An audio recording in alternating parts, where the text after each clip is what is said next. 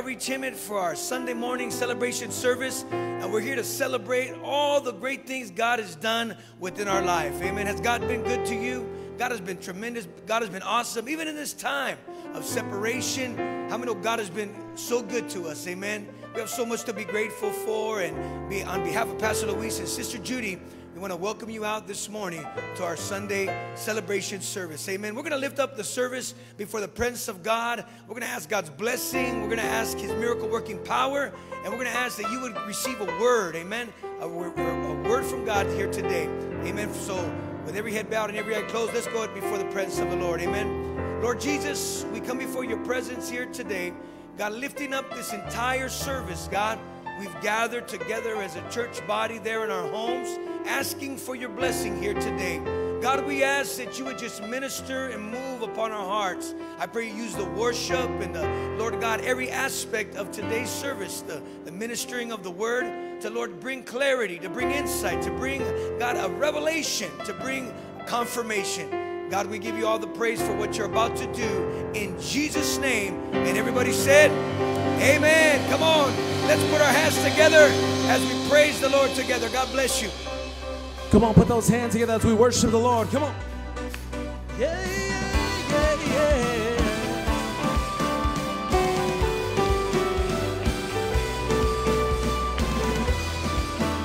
Come on, worship the Lord this Sunday morning.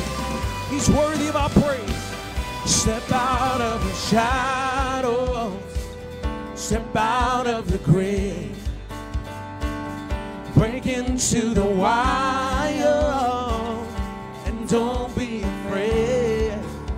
Say, run into, run into wide open spaces, graces waiting for you. Dance like the weight has been lifted, graces waiting. Where the Spirit of the Lord is, there is freedom, there is freedom. Where the Spirit of the Lord is, there is freedom, there is freedom. Come out of the dark, just as you are, into the fullness of His love. For the Spirit is here, let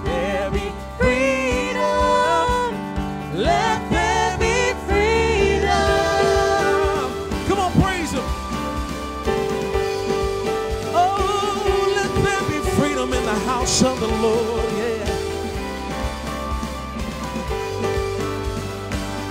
Bring all of your burdens, bring all of your scars. Come back to communion, come back to communion, yeah. come back to the start. Oh, yeah. Run into wide open spaces, graces has been lifted. Grace is waiting.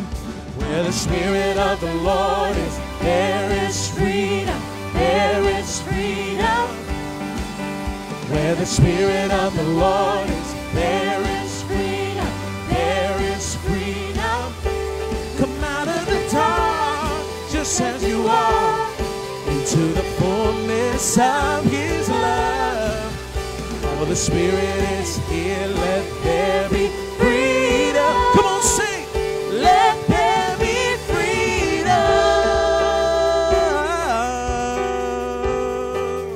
Come on, if He set the captives free in your life, then you got to proclaim it. You got to begin to lift up your voice and begin to give Him glory and honor. Begin to thank Him this morning. Begin to thank Him that chains are going to fall, that prisons are going to shake at the sound of Jesus' name. Chains will fall, prisons shake at the sound of Jesus' name. Say that again. Chains will fall, prisons shake at the sound of Jesus' name. Lives made whole, lives made whole, hearts awake at the sound of Jesus' name. Oh, oh, oh, oh come on, worship the Lord.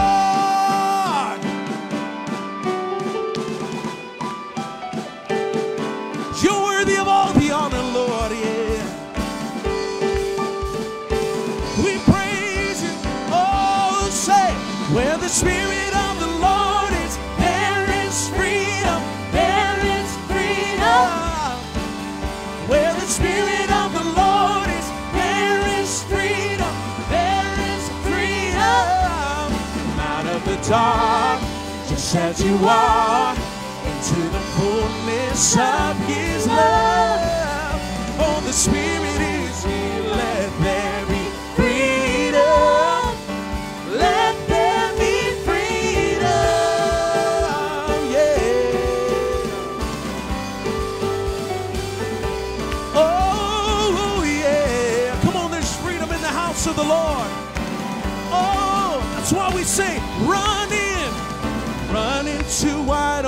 spaces, graces, waiting. Say, oh, dance, dance like the weight has been lifted. Graces, waiting. Come on, say, dance, dance like the weight has been lifted. Graces, waiting. Say, dance like, dance like the weight has been lifted. Graces, waiting. Say, dance like the weight has been lifted. Graces, waiting. Say, dance like, dance like the weight has been lifted. Graces, waiting. We say, where the Spirit of the Lord is, There is freedom. There is freedom. where the Spirit of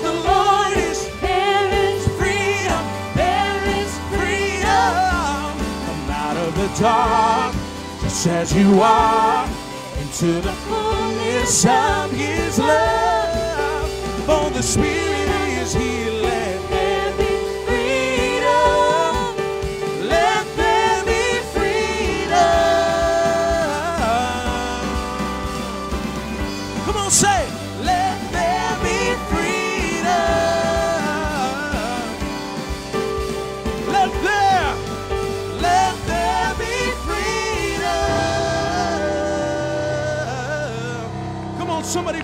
this morning.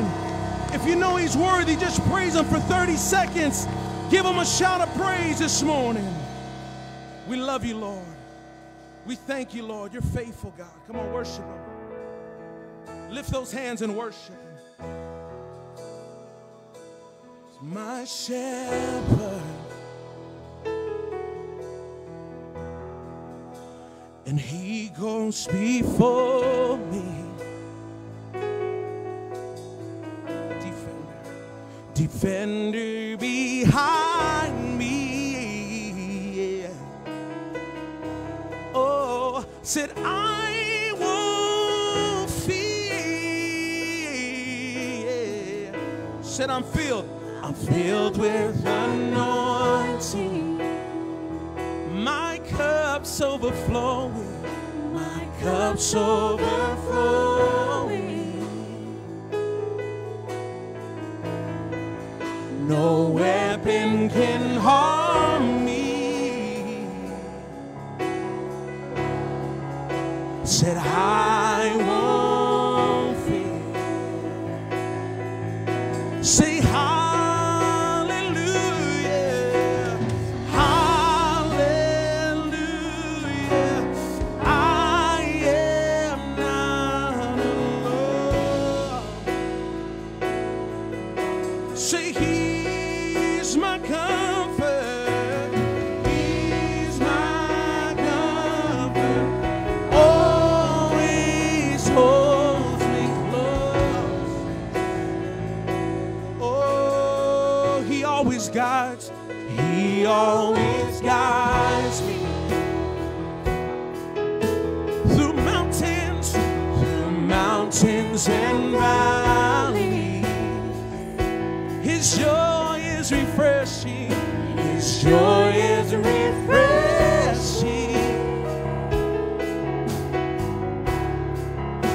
Restores my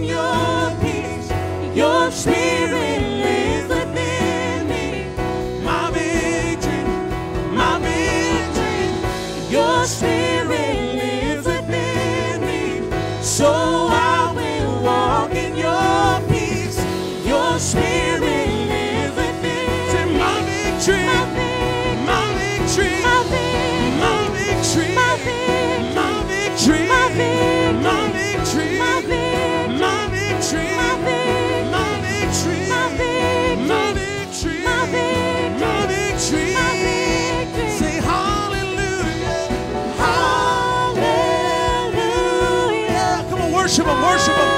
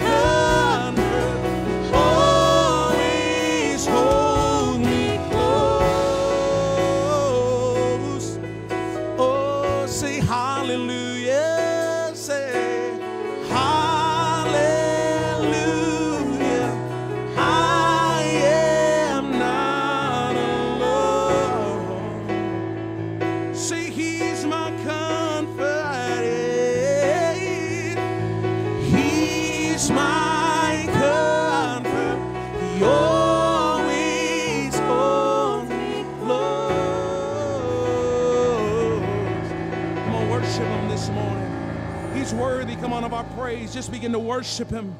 We'll lift up those hands. He deserves it. Come on, he deserves the glory. He deserves the honor. Lift up your hallelujah to the Lord this morning.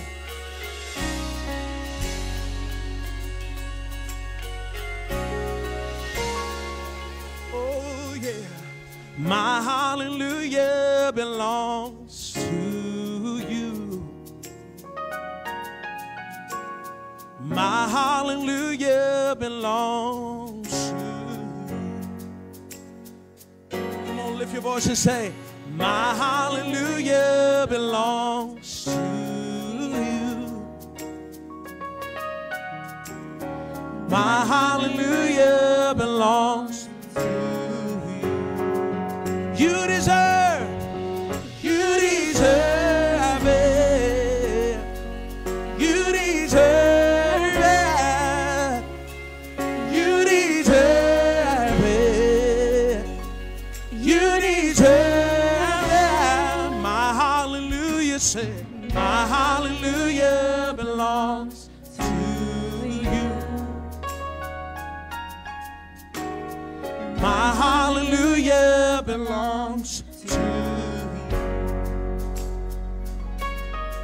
your voice and say, My hallelujah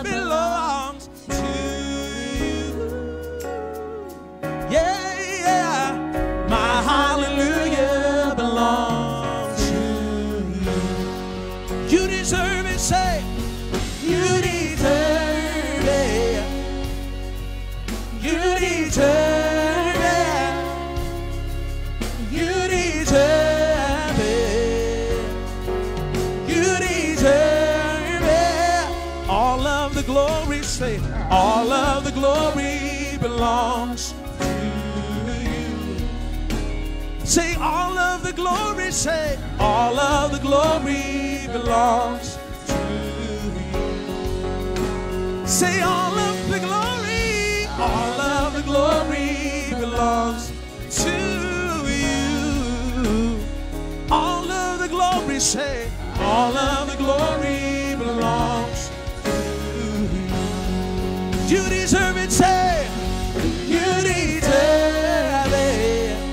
say, you deserve it. You deserve it. You deserve it. You deserve. You deserve it. Come on, worship him. Worship him this morning. Come on, he's worthy of our praise. Begin to just think of another day of his grace, another day of his mercy. Come on.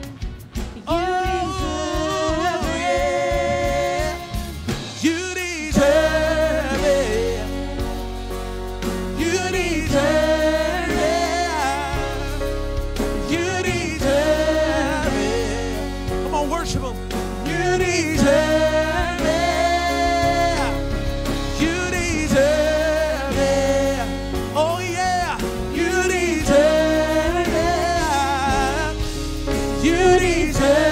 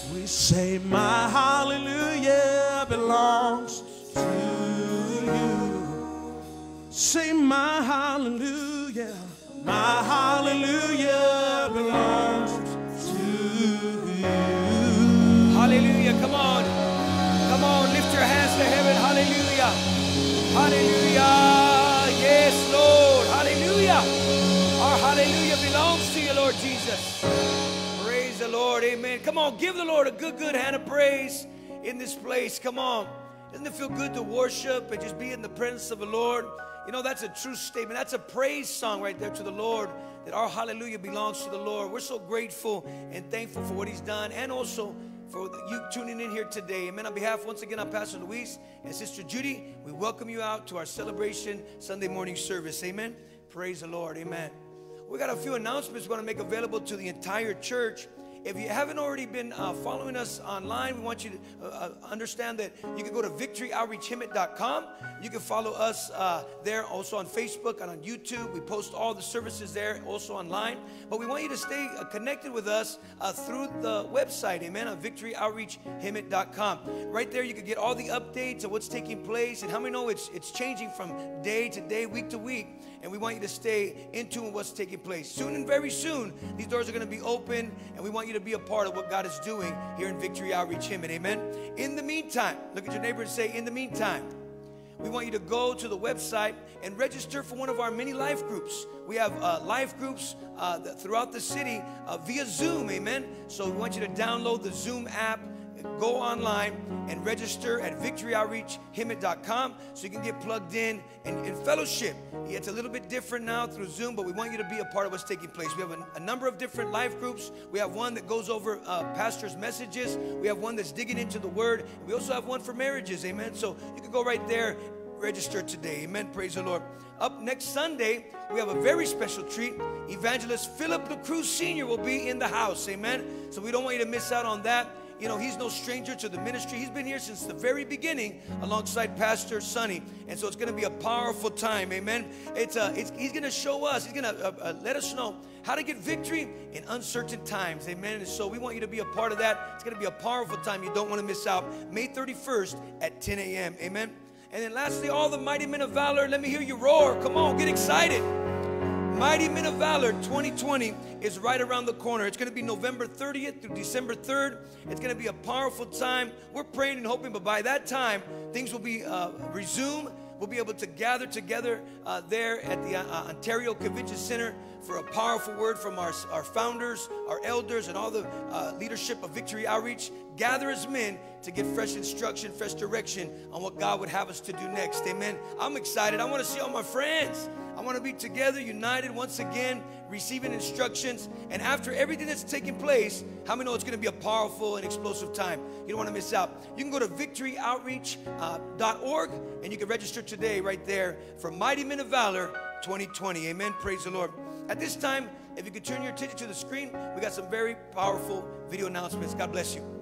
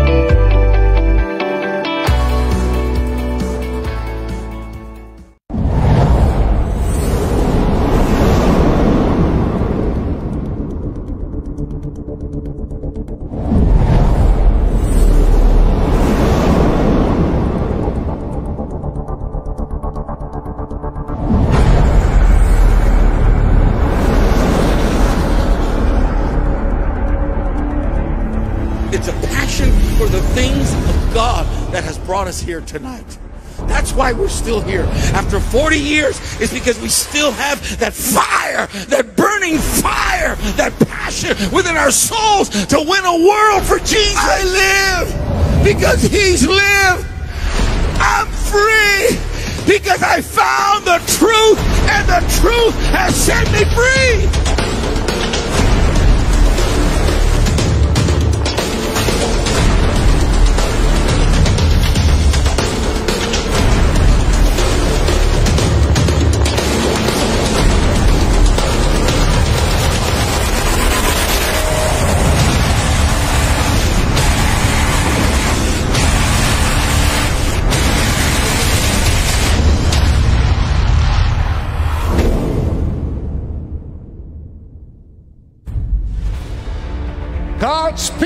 Are not going to go back the same. And then God says, Where you said you could not do it, that's the place that I have called you because you're not going to do it, but I'm going to be doing it through you. There are thousands and thousands of people that have been touched, that have come through the home, that have come to our churches. Not only do we have a local vision, but God is going to send you out, He's going to send you up. He's going to send you up. and He's raising us up, and many of you are going to be pastors, you're going to be evangelists. Therefore, if any man be in Christ, he's a new creation. All things have passed away. Behold, all things become new.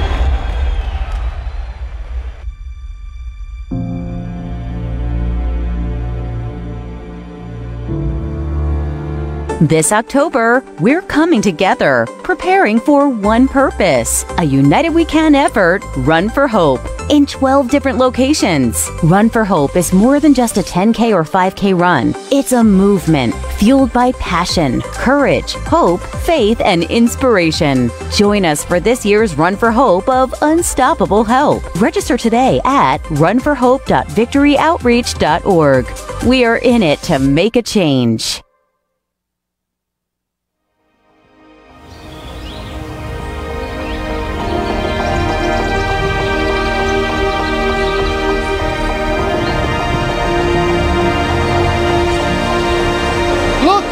Far you've come.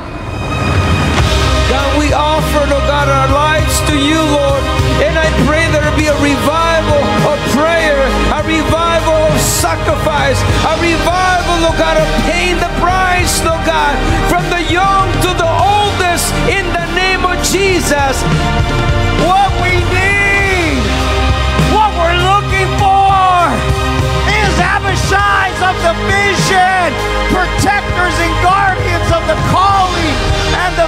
of Victory Outreach.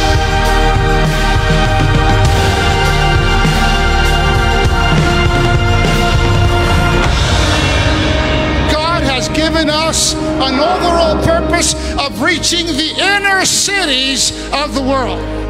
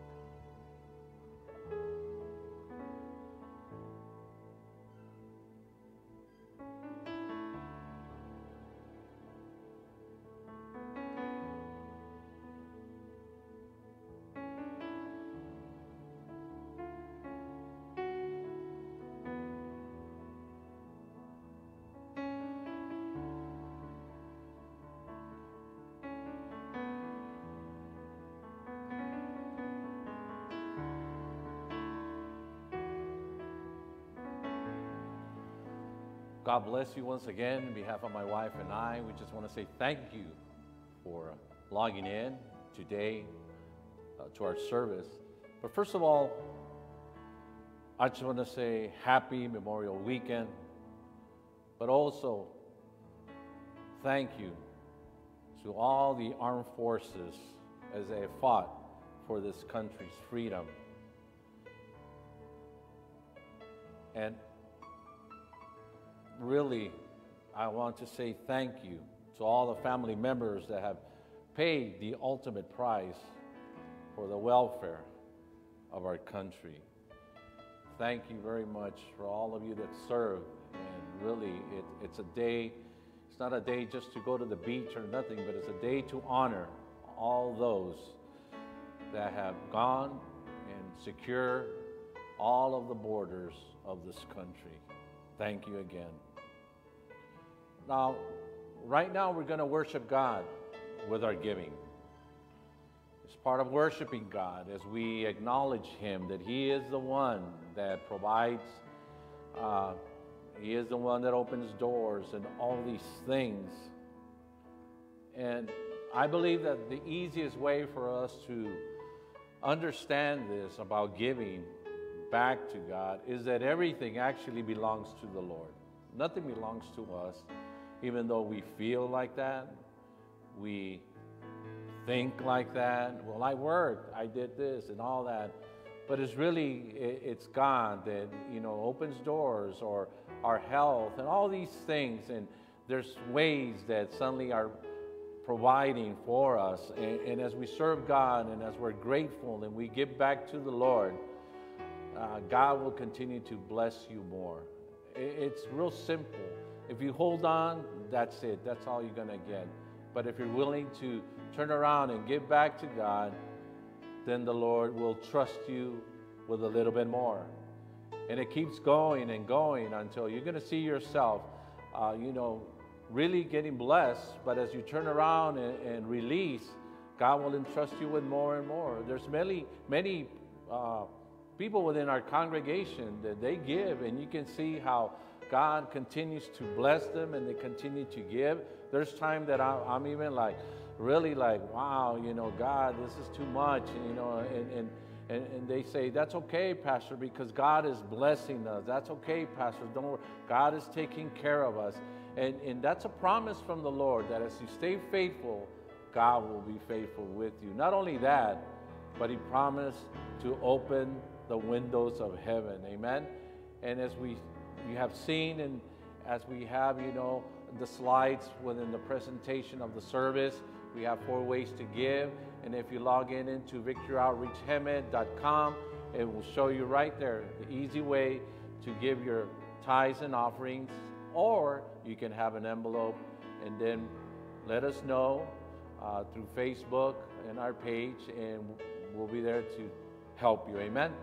So, right now, we're just going to pray for this offering. Lord Jesus, I pray, God, that help, Father. Help those, even right now, God, those that are, they find themselves, Lord God, in hard times, but as they release, like that widow, and so many other examples that we have, Lord, in the Bible, about people trusting you, God, that, Lord, you, you're able to turn around and bless their lives, God. And I pray right now for this offering in the precious name of Jesus. And we all say, Amen. Now, if you have your Bibles, I want you to turn to John chapter 11. And we're going to read, uh, starting in verse 1, a few verses here. It's a long story right here. It's about Lazarus.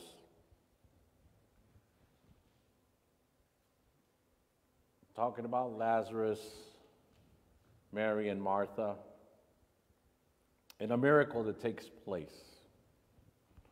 It says, Now a certain man was sick, Lazarus of Bethany, the town of Mary, and his sister Martha.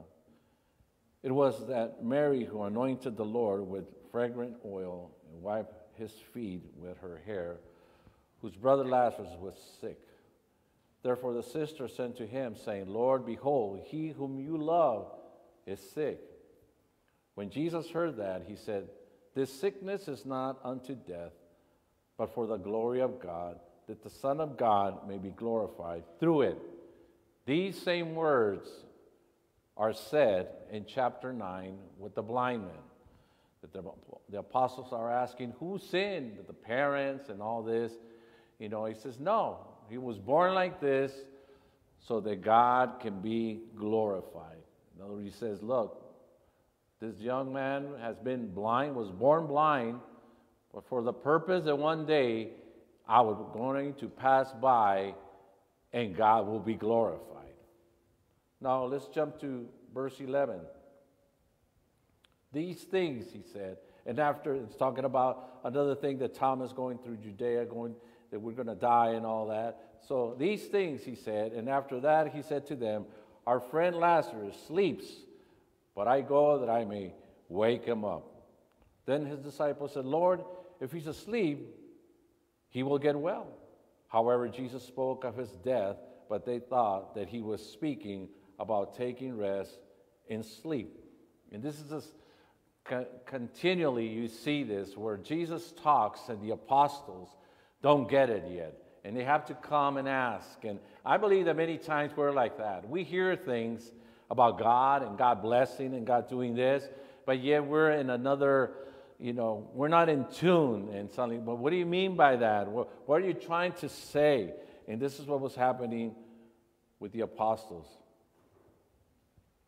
Then Jesus said to them plain, Lazarus is dead, and I'm glad for your sake that I was not there, that you may believe. Nevertheless, let us go to him.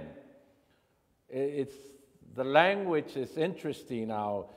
He says, Lazarus is dead, and I'm glad for your sake that I was not there, that you may believe. Nevertheless, let us go to him.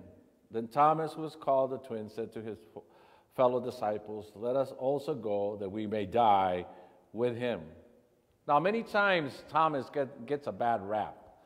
All the time, the doubting Thomas and all that. But right here, this statement that he's making, he, he, he says, We know that uh, actually he's kind of prophesying of what's going to happen after the death of Jesus, that suddenly the apostles are being attacked and all that, and they did die for the cause. And he says, he's saying, you know what? I know that we're going to die, but Jesus say, if you say so, let's do this. Verse 17, so when Jesus came, he found that he had already been in the tomb four days. Now think about that, four days. Now Bethany was near Jerusalem, about two miles away, and many of the Jews had joined the womb around, uh, woman around Martha and Mary to comfort them concerning their brother. Now, Martha, as soon as she heard that Jesus was coming, went and met him, but Mary was sitting at, at, at the home. Now, Martha said to Jesus, Lord, if you had been here, my brother would not have died. But even now, I know that whatever you ask of God, God will give it to you. Jesus said to her, Your brother will rise again. Martha said to him, I know that he will rise again in the resurrection at the last days. Jesus said to her, I am the resurrection and the life. He who believes in me, though he may die, he shall live, and whoever lives and believes in me shall never die. Do you believe this? Now, in verse 32, then when Mary came, when Jesus was and saw him, she fell down at his feet, saying to him, Lord, if you had been here, my brother would not have died. Therefore, when Jesus saw her weeping, and the Jews who came with her weeping, he groaned in, in the spirit and was troubled. And he said, Where have you laid him? They said to him, Lord, come and see. Jesus wept. Now, this is interesting right here. It's the smallest passage right here. Jesus wept. But John, and what he's doing is that it's a contradiction to the Greek gods who had no empathy, could care less about any human being. And now we see here the Son of God, God in nature, weeping for a soul. Then the Jews said, See how he loved him. And some of them said, Could not this man who opened the eyes of the blind also keep this man from dying? Verse 38 Then Jesus, again groaning in himself, came to the tomb. It was a cave and a stone laid against it. Now, the groaning, it's some scholars say it's, it's kind of not like, like of, of pain or nothing, but it's like of anger. One of because of his friend being dead, but the other one is it's of the hypocrisy of those that are there, eh, you know, pretending they're hurting when they're not. So he, Jesus said, Take away the stone. Martha, the sister of him who, had, who was dead, said to him, Lord, by this time there is a stench, for he has been dead four days. Jesus said to her, Did I not say to you that if you would believe, you would see the glory of God?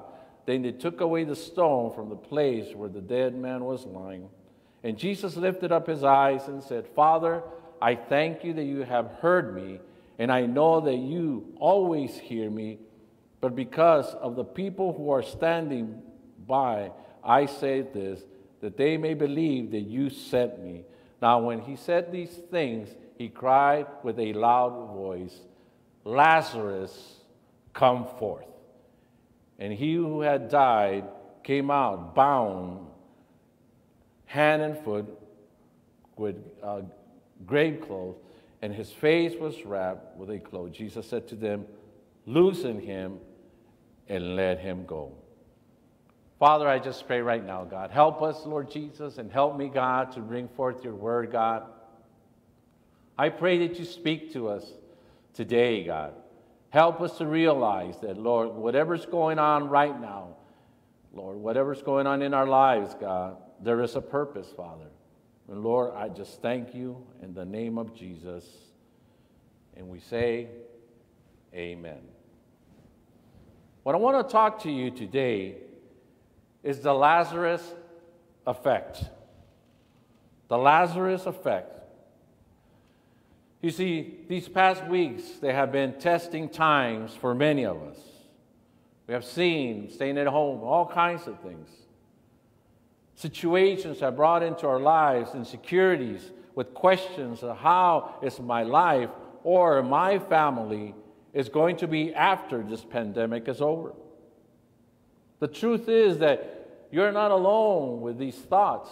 See, sometimes we think we're the only ones that are, you know, we worry and all this, we're freaking out, whatever, but there's many other people just like you. Not everybody's just standing and whatever, and God's going to do. No, no, no, no. And that's okay. You're not the only one that is thinking this way. And today I'm talking to you, I'm talking to the Christians and not to the secular world. Because I believe, in other words, for us as Christians, that a Christian, uh, this makes it harder to go through these things and then suddenly start saying things that I'm worried and all this because we hear comments like, Where's your faith? Don't you trust in God? And then, you know, I thought you were a Christian and all kinds of things like that. When the world can say all these things and not be persecuted for that. But today we're going to look at this event that took place in the time of Jesus walked on this earth. The Lazarus effect. Now listen to me. This effect is the transitional period from bad to good. From worrying to gladness, from lacking to being provided, from failure to success. So let's look at this story. See, it's reminding us, first of all, that God can do anything. It reminds us that God works in the dark or behind the scenes. He's always working. It's not like he stops and then he then suddenly you're in a predicament and then God says, "Oh, I got to go help him now." No. Everything is orchestrated, everything is there. And yes, we do have a free will to either move according to His will or do this or be obedient to His word and all that. But God is still working. It reminds us that man's impossibilities are God's opportunities. That what you see as impossible, it's an opportunity for God. To move in your behalf so that you will turn around and glorify Him. See, it's teaching us that God is not glorified by our sins or sickness and disease, but He is glorified by our deliverance, our healing, or restoration. In the story, we see that someone comes to Jesus and tells him that Lazarus is sick. But Jesus waits two days to respond. So, matter of fact, let me say it like this it could have easily been 12 years, just like the woman with the issue of blood.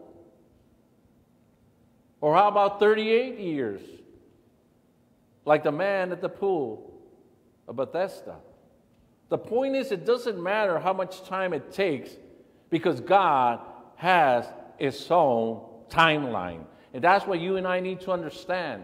God has His own timeline, and God's going to move according to His time. What he, when He decides this thing to take place, because many times we're expecting for God to move, yet we're not ready to receive the blessing. We're not ready to. It's sad to say that I, I've seen individuals that we have prayed for. We, you know, this and that, and suddenly they, they got a new liver. But what happens? They got that new liver, now they're doing dope again. They're drinking again, and all that kind of stuff. The point is, like I said, it doesn't matter how much time it takes because God has His own timeline. It doesn't matter how long, how wrong, or how tough the situation is. It is all the same to Jesus. And I think that we can say, Thank you, Jesus, because it doesn't matter. You and I are the ones that go through changes. You and I are the ones that are trying to figure it out. You and I are the ones that try to find an answer here, and that's why we go here and there and try to get all this like, what do you think and what is that and all, but we don't go to the source, which is God. Let me explain something. It is the same power. Now, listen carefully. It is the same power that heals a headache that drives cancer out of your body. It is the same power that heals uh, you know, some pull muscle that drives out demons. It's not like, oh, it's just this little thing, so I'm just going to use the, my power changes to this. No, no, God doesn't change. And sometimes we see God like that. We think, well, this is, well, I can handle this one, or I can handle this. Oh, that's a little bit too big for me. Well, I don't know. And sometimes we, wow, this is a big one. I don't know if God's going to be able. We don't say it like that. But as doubt creeps in, that's what we're thinking. I don't think God's going to be able to handle this one. We bring God to our level. We limit God just as you and I are limited. Remember, He is God. We are not. After two days, Jesus says, Now let us go and wake up Lazarus. It is interesting how Jesus is almost unwilling to talk about Lazarus as if he was dead. He simply says, He's asleep, and I'm going to wake him up. The reason is because, as far as God's power is concerned, there is no difference. He's going to wake them up. Somebody here today needs to know that your situation is not too hard for Jesus. You have to understand that even though we're going through this thing, this pandemic, and whatever's going on, and, and jobs are being lost and all this, believe me, God knows about it. He knew already that this was going to take place. It may be too hard for doctors, too hard for your financial situation, or too hard for, your, for you and your family. But right now, Listen to me right now. Jesus is paying attention to every situation that is taking place in your life. He's paying attention.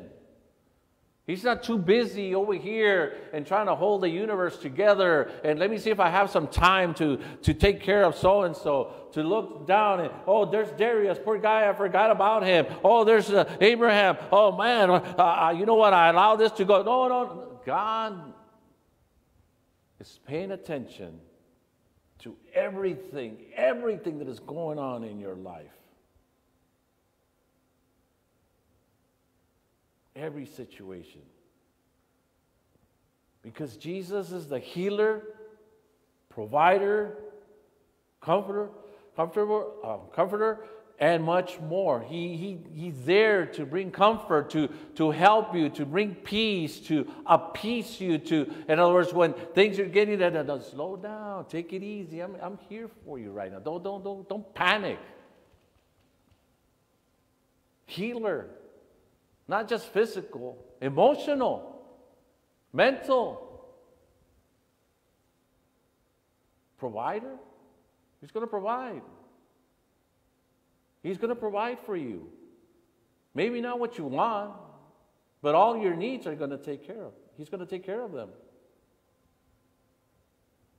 That's why, listen to me, the reason I'm saying this, these things, that's the reason why you and I can never give up. Don't give up.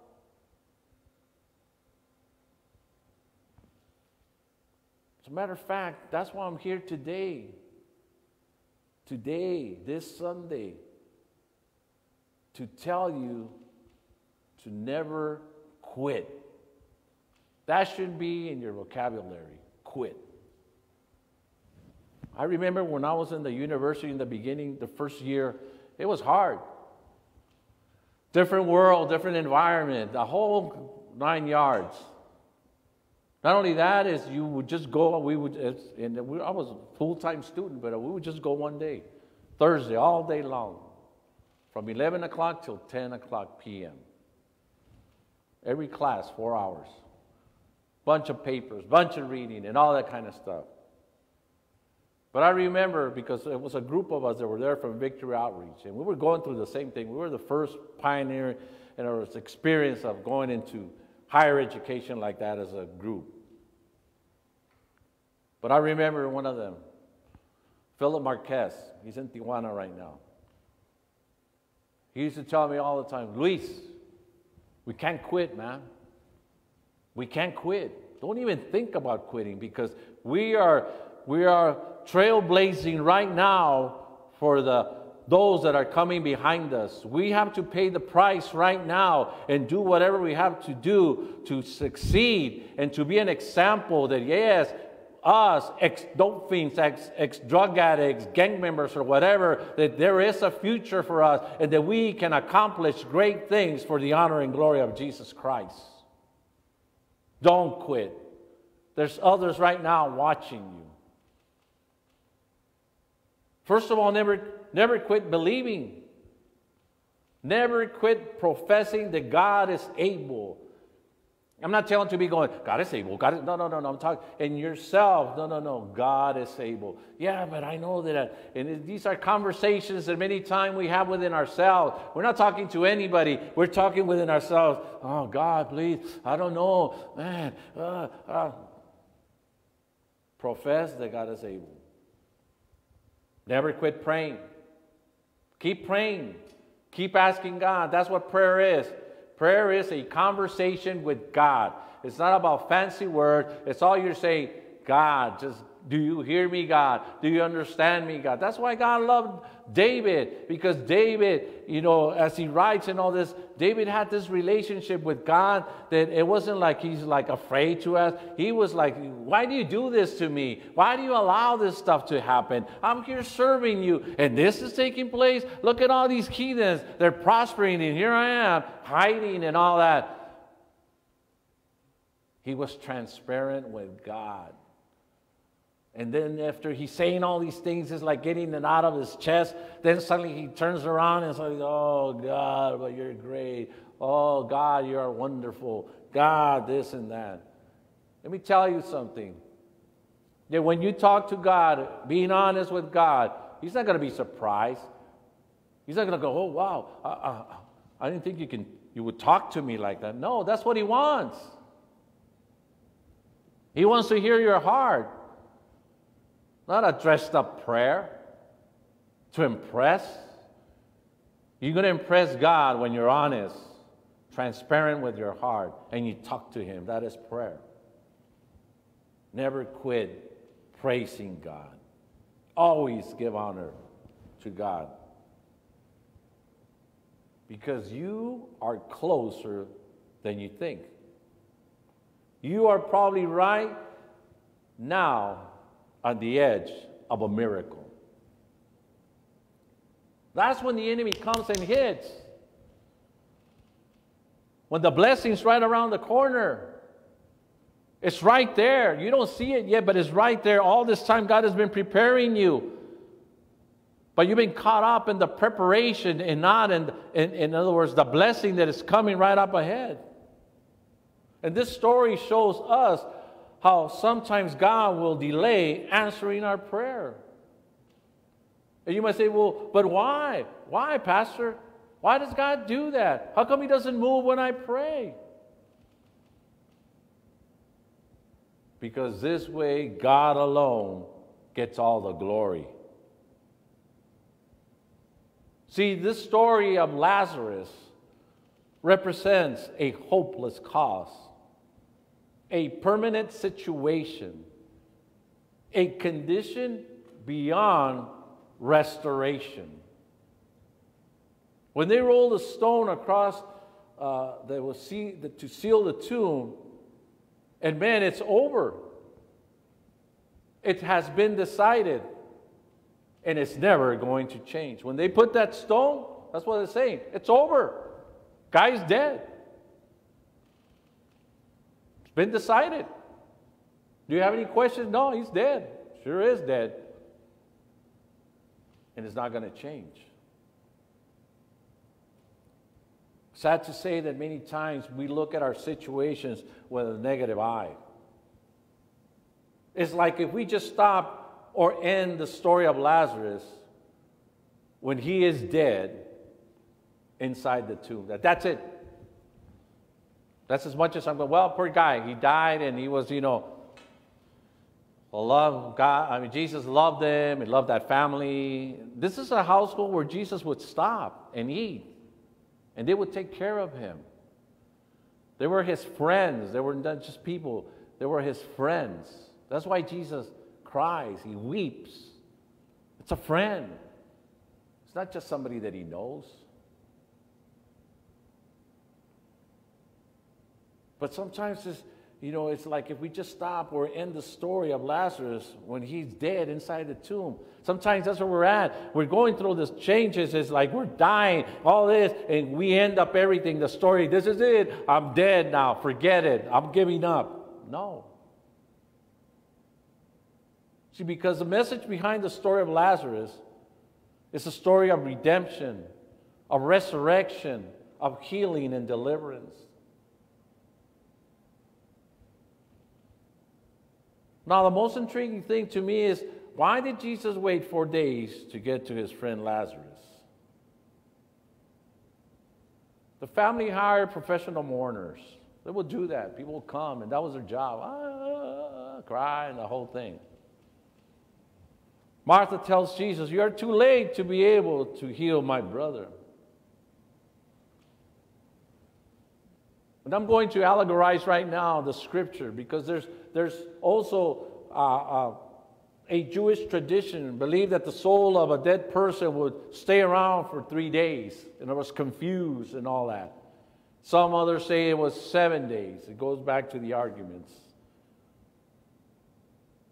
So if Jesus brings Lazarus back from the dead, the people will say, in other words, if in three days or whatever, the people will say, That's not a miracle. Lazarus' soul decided to come back to him. So by the fourth day, everybody knows that Lazarus is dead.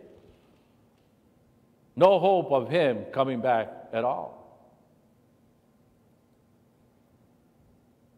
In verse 39, Jesus says, Take away the stone. Martha, the sister of the dead man, says to him, Lord, by this time there will be an odor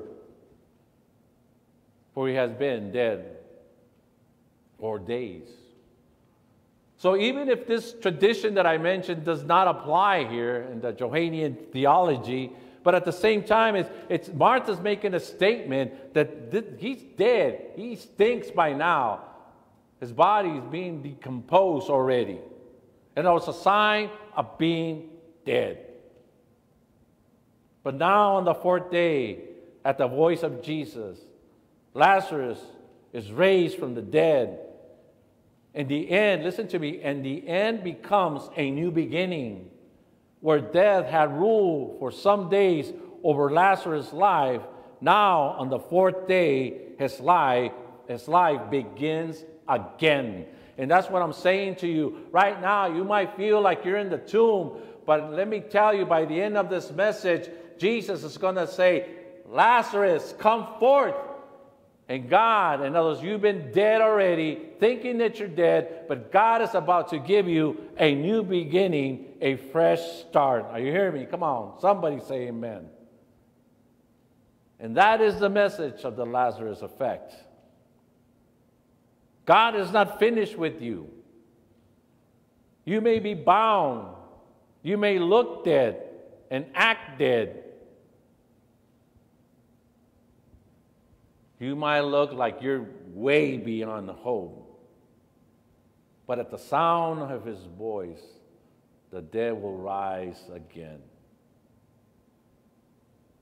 What I'm saying is that you and I, no matter the circumstances, we are not unreachable or beyond hope. God can reach and touch your life any moment, any second, whenever He wants. You and I, just like Lazarus, we have to pay attention so that we can hear his voice, the voice of Jesus.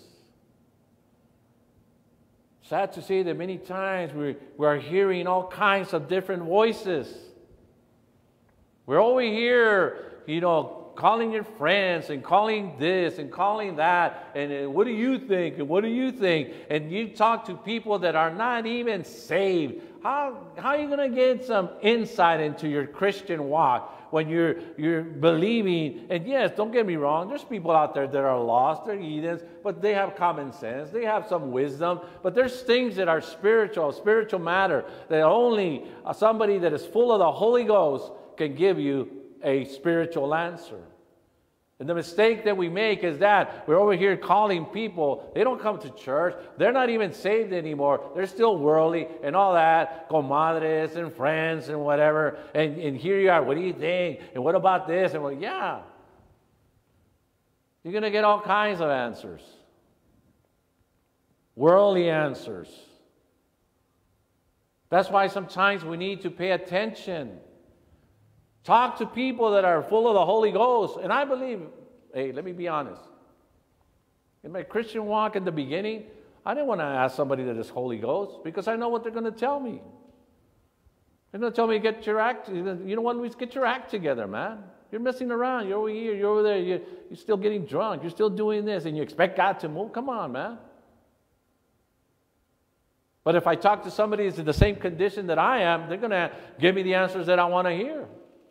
Poor thing. Yeah, you've been trying hard. You know, they, they don't have no compassion on you. They, oh, poor thing. And somebody say amen or ouch. We're hearing all kinds of different voices, all types of advice coming to us constantly from our family members, from our friends, and so on, co workers, You and I need to hear, excuse me, the pure, you know, word of God has to come and, and hit us. And even if it hurts, it's for the good. Paying attention to His Word, the Bible. Hear what He has to say in prayer, like I said, as you're talking to Him. Sometimes we just keep talking and talking and talking, and we, we're, we do not give Him time to speak to us. And hearing what is coming across through preachings and teachings. Remember that when Lazarus heard the voice of Jesus, he was resurrected. In the same way, there are many Lazarus, listen to me, out there right now, ready to hear the voice of Jesus Christ so they can also be resurrected. Listen to me. That's why we need to get our act together. That's why we need to start trusting God. If anybody is us right now, those that have been saved and been going through this thing and really trust God and see God move in a powerful way within our lives. Because of, of this pandemic, there are many people right now waiting for some type of answer. I'm talking about drug addicts, gang members, and many other people are tired of all these voices that have come to their ears to find out they were not true. We hear all kinds of stuff in Facebook and so on, uh, the government and this and that and all kinds of things. And wear a mask, don't wear a mask, this and that. Uh, like they say, okay, uh, President Trump said, we're going to open, you know, the churches. It doesn't mean that we just come running into the church. There's still sickness out there. There still is. And so to do that, we have to take some steps. And if somebody decides to open the doors and let him, hey, so be it. That's on them. Not only that, but myself being under an umbrella of victory, I can't go rogue and do my own thing. We work together. But what I'm saying because of this pandemic, there are many people right now waiting for some type of answer. God is calling some of us, listen to me, some of us. A matter of fact, God is calling some of you right now. Right now, God is calling you to get ready for this great harvest that is about to take place. God is calling us, Victory Outreach, God is calling us to get ready because out of this, great harvest is going to take place. A great movement, a revival is about to take place in America. It's not just here in Hemet. It's not just here in California. It's not just in the United States. This thing is around the world. That's why we, we need to have enough of, of the love and the compassion of Christ to look beyond when these people come beyond their past and be ready to equip them for their destiny. Not just so they can come to church and be part of the congregation. No, so they can fulfill, they'll be able to fulfill what God has called them to be. Sad to say that if the church is not able to do this, as far as making a difference in the world is concerned, then the church is irre- irrelevant. Why are we here then? Just to have a good time? Just to have good worship? Just to say, hey, I came to church. Hey, I'm here. Hey, I logged in. Hey, many clap already. Yay, prayers and all. Amen, amen. No, there's more than that. God is calling us to get ready for the harvest. Jesus says the harvest is plenty, but the workers are few. Pray, pray that God will send more workers into the harvest field. See, listen to me. And it's not just myself thinking like this. There's other pastors in VO. Not only that, but there's other pastors here in the valley. Yesterday, I talked to one of the pastors, a good friend of mine, and, we're in the same tune like, man, it's to take, this thing's to blow up, man. We got to get ready for this thing, man. We got to get ready for this valley. We got to get ready for this because God's about to do something new. We've sensed this since the beginning when this thing started. And I'm not saying I'm, I'm super spiritual, but this thing, that, that's why a confidence and all this kind of stuff, it's not like, oh my God, what are we going to No, no, no. Like, oh, let's do this and let's do that. Let's do what we got to do and all that. And put my, you know, I had to change a lot of stuff. Even being right here, I told you already before about a thousand times, being in front of a camera and all kinds of things. But we got to do what we got to do. But why? Because God is about to do something great. God is about to accelerate everything. It's going to go faster, quicker.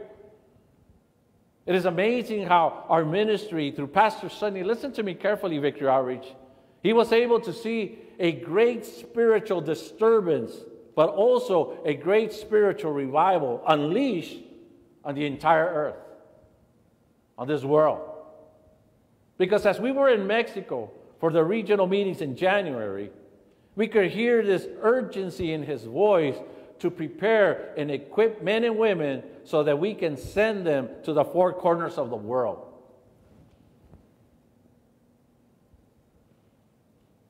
And that, my friend, is what we call the third wave. I remember looking at there, and suddenly when they, there was all these young, I've never, I've been into those meetings, had the privilege of being there probably 10 years or something, and I, or, or more, but I've never seen so many young people like I saw this, this, this time. Bunch of, and a change took place too with the youth, and things are changing. Don't, don't, don't, in other words, don't worry if you see changes taking place, regions and things and all that, because God's about to rearrange our ministry also for the thing that's about to take place. It is a new thing that God is doing with our ministry to raise up this new Lazarus generation. Lazarus represents the church that has fallen asleep the congregation of the people have become spiritually lifeless, dormant, powerless. See, I think that before this pandemic, everything was just a routine. We already knew what to do. We would come and okay, what's good? Okay, who's doing the announcements today? Okay, cool. Who's preaching today? Okay, oh, you're in the schedule. Oh, what's this? Okay, yeah, yeah. How many songs are you guys singing? What are we going to sing? This, this, this, this. Everything was a routine. And just because we saw God's hand still move, we thought we were really in the spirit and discerning what God wanted to do. But it was only God moving because of His grace and His love for His people, the congregation. And I believe this period of time, I know for myself, it's been a time of really reflecting and really thinking, okay, God, why did you call me? What is it? And yeah, I know I'm a pastor and all, but I want to know my purpose so that I be able to fulfill my role in this great movement of Victory Outreach to reach the world for the honor and glory of Jesus Christ. Sad to say that the church has become powerless by mixing with the world. The spirit of the world has creeped into the church. But I believe this time that we have been secluded in our homes, it has been a time for many of us to evaluate our Christian walk. I pray, I pray that this time has not gone in vain in your walk. I pray that instead of listening to everybody, that you at least took a day or two days and really meditate like, man, wow, what's going on, God? What, what do you want me to do? How is it that I need to get ready so this when this thing, when the doors actually open, that I'll be able to fulfill my call? See, that's what you need to start thinking. Not that, oh, we can come together and have church. Praise God for that. Yeah, we're family and all that. But I believe that there's more than that. That when these doors open, you're not going to come just like when, when all these things stop, but you're going to come with, you know, with a new zeal, with a new fire, with a new vision. In other words, that you'll say, man, I know what I need to do. God is preparing me. I've been praying and God showed me. So if we're honest with ourselves, the outcome of that evaluation is something that we were not expecting. I pray that you were honest with yourself. I pray that you're honest with yourself right now and you look at yourself and say, man, I'm missing the mark. I, I, I, I'm lukewarm. I just settled. Yeah, I go to church. Yeah, I show up. But I've done nothing really. I know that I have these talents, I have these abilities. I haven't used them. In other words, I haven't been an offering unto God with my life. Let me remind you that God loves the church. And that's you and I. That's God's people. Let me read something to you here in Malachi chapter 3, verse 14 and 15. It says, You have said, It is vain to serve God.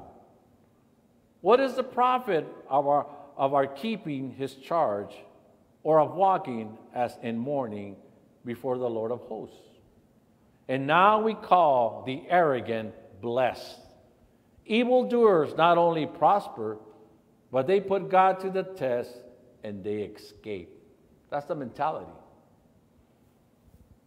That's why we can go out and sin and, and do all kinds of things with no conviction at all. Ah, God loves me. God will forgive me. God will this, and God will put up with me. And God, and we expect this. That's our Christian walk. It shouldn't be like that. I pray that by the time we get back, we will have a heavy conviction in our lives that will prevent us from just living a casual Christian life.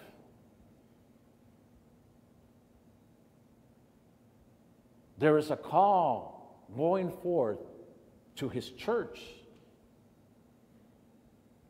God is saying to us as a church, Lazarus, come forth. Because something is getting ready to happen. In fact, it's starting to happen right now. This thing is starting to, it's, it, it's brewing up right now. All over the world, people are hearing the voice of the Son of God. All over the world, people are hearing the voice of the Holy Spirit, and people are starting to wake up. All over the world, the dry bones are beginning to rattle as the voice of the Lord has come forth. I'm telling you that the wind, the Holy Spirit is blowing through the valley of dry bones right now. In other words, resurrection power is coming to you right now if you want it.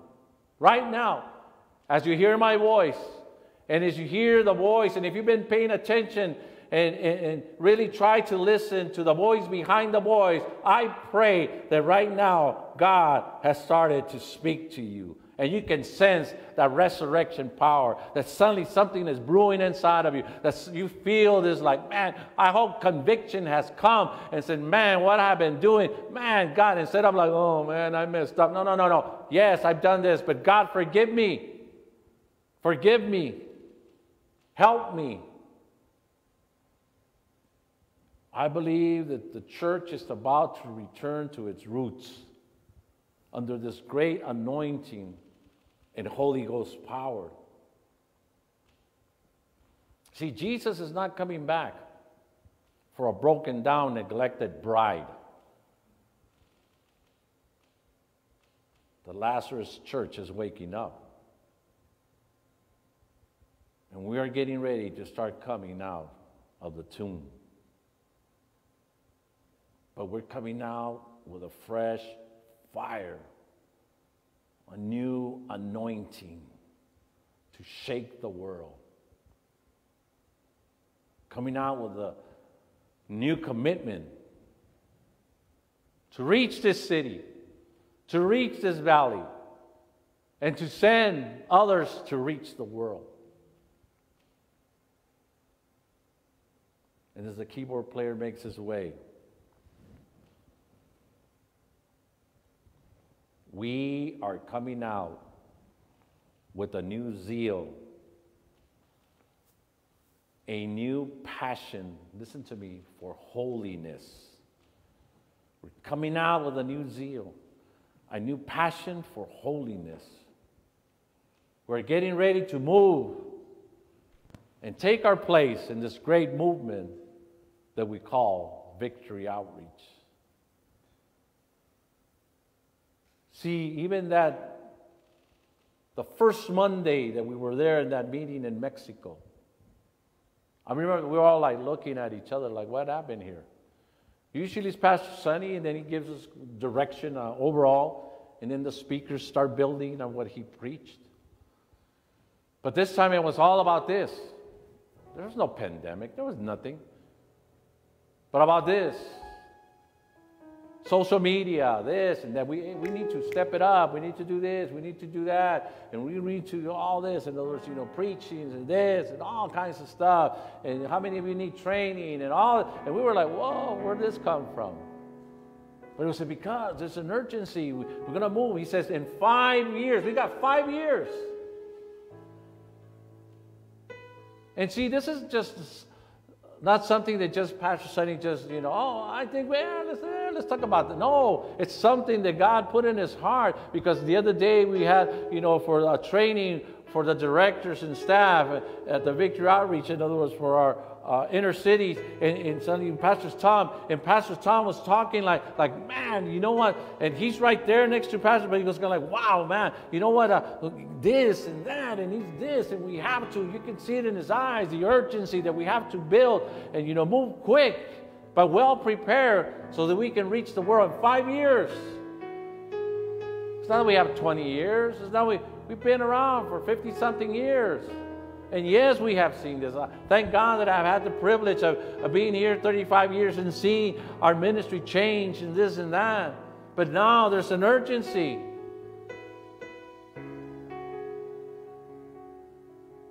That's why we need to get ready to move and take our place in this great movement that we call Victory Outreach.